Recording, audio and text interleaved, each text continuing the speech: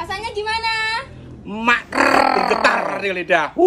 Assalamualaikum sahabat-sahabatku semuanya. Semoga kita semua dalam keadaan baik-baik saja dan tetap bahagia. Pada kesempatan kali ini aku akan membuat sambal penyet cabai hijau. Seperti ini tampilannya teman-teman. Dan ini adalah bahan-bahan yang aku butuhkan. Nanti juga aku tulis satu persatu ya teman-teman. Langkah pertama kita haluskan dulu bumbu ungkepnya untuk ayam gorengnya ya. Ini bahan-bahannya semua sudah aku tulis untuk ukurannya. Seperti ini hasil tumbukannya cukup teman-teman. Kemudian aku ambil wajan Aku tuang semua bumbu yang sudah aku haluskan Kemudian ayam aku masukkan dan bumbu cemplung sudah aku masukkan juga. Masing-masing sudah aku tulis ya teman-teman. Ini kita ungkap, kita tunggu beberapa saat. Ini kurang lebih 15 menit ya aku buka. Hasilnya seperti ini. Ini dibolak-balik lagi biar bumbunya merata.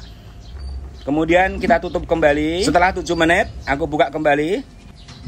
Nah seperti ini, ini sudah lumayan empuk ya teman-teman karena ini ayamnya nggak begitu tua. Kemudian aku tuang tempe tahunya. Ini aku bolak-balik biar semua kecemplung bumbu. Begitu semua sudah rata dengan bumbu, kita angkat. Selanjutnya kita siapkan penggorengannya. Ini untuk menggoreng-goreng ya. Cabai hijau 100 gram, cabai rawit hijau 100 gram. Ini aku goreng sampai setengah mateng saja. Seperti ini. Kemudian ayamnya ini aku goreng dulu. Digoreng garing atau digoreng setengah kering tergantung siapa yang minta sesuai permintaannya ya. Ini aku goreng setengah kering saja.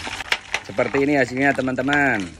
Kemudian aku goreng tahu dan tempenya. Dari tahu tempenya ini aku menggunakan bumbunya ayam ungkep ya, jadi enggak bikin bumbu-bumbu lagi. Nah setelah matang kita angkat seperti ini. Kemudian ini kol atau kubis ya. Ini kita goreng sampai garing. Langkah berikutnya kita menuju persambelan nasional. Ini bawang putih dulu aku potong-potong biar mudah ditumbuk ya teman-teman. Lanjutnya kaldu ayam. Ini aku menggunakan masako. Ini setengah lebih aku gunakan. Kemudian cabenya aku tuang ini bahan-bahan sudah aku tulis semuanya ya teman-teman. Ini kita tumbuk sampai setengah halus saja. Kemudian aku tambahkan garam ini aku menggunakan satu sendok teh dulu ya. Karena kaldu ayamnya tadi juga sudah asin. Kemudian jeruk limau ini aku menggunakan tiga buah ya. Ini aku proses seperti ini. Ini sudah aku cicip dan rasanya menurut saya pas. Ini bisa ditambahkan juga minyak goreng yang panas. Dari gorengan ayam yang sudah kita goreng. Teman-teman juga bisa menambahkan juga gula pasir di sambelnya bagi yang suka. Kalau untuk saya nggak perlu ya teman-teman. Tapi sesuaikan selera teman-teman. Kalau untuk penyajiannya seperti ini. Ayamnya digeprek-geprek dulu ya. Baluri semua dengan sambal hijau. Ayam nggak harus ayam kampung bisa ayam broiler. Rata-rata yang digunakan ayam pedaging itu ya?